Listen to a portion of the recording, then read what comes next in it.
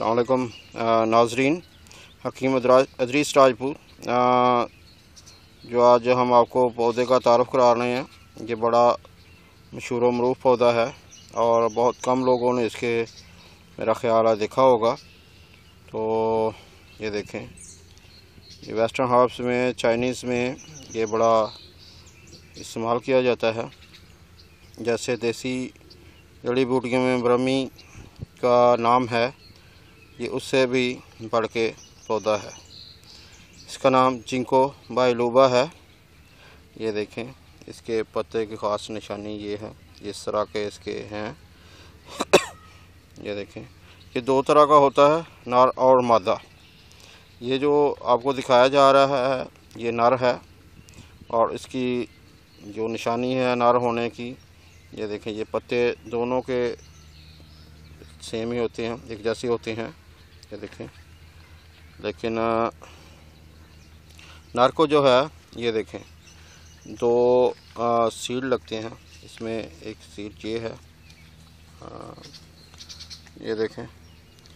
ایک اس کا سنگل ہے اور یہ ایک نیچے جڑواں لگا ہوا ہے۔ اس کا پھل جو ہے۔ یہ دیکھیں۔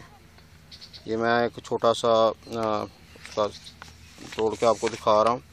یہ اس کا پھل ہے جو نر ہے اور ایک ساتھ اس کے ہے۔ کسی میں جگہ یہ دو کٹھے لگے ہوئے ہیں، یا ایک اکیلا لگا ہوا ہے۔ تو آپ یہ دیکھیں، اس کے ساتھ یہ اس کے پتے ہیں۔ اور اس کا درخت جو ہے، یہ بہت بڑا ہوتا ہے۔ یہ دیکھیں، یہ سارا اس کا درخت ہے۔ یہ اتنا ہائی ہے اور اچھی خاصی اس کی ہائٹ ہو جاتی ہے۔ یہ یہ پودا اور یہ یہ دونوں، یہ دیکھیں، یہ اگر آپ دیکھ سکتے ہیں تو یہ اس کی شاخ پہ لگا ہوا ہے۔ چنکو بائلوبا اس کو میتھ پلانٹ بھی کہتے ہیں۔ یہ جو یادداشت ہے، اس کے اگر کم ہو گئی ہو عمر کی زیادتی کی وجہ سے یا کسی وجہ سے؟ اور اس کو اکیلے، اس کے پتے استعمال ہوتے ہیں۔ اس کا جو پھل ہے وہ استعمال نہیں ہوتا۔ اس کے پتے جو ہیں، اس کی چائے بنا کے یا اس کا ٹینکچر بنا کے یا اس کا پاؤڈر بنا کے اس کو استعمال کیا جاتا ہے۔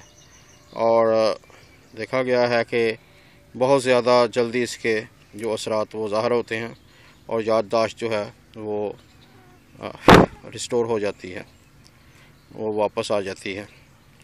یہ اس کا نام جو ہے جنکو بائلوبا چائنیز اور ویسٹرن ہربس میں استعمال ہوتا ہے۔ یہ دیکھیں۔ آپ کو جو تعارف کرایا گیا ہے، اس پودے کا چنکو بائلوبا کا، اس کے ساتھ ہی حکیم ادریس راجپوت کو اجازت دیجیے۔ خدا حافظ۔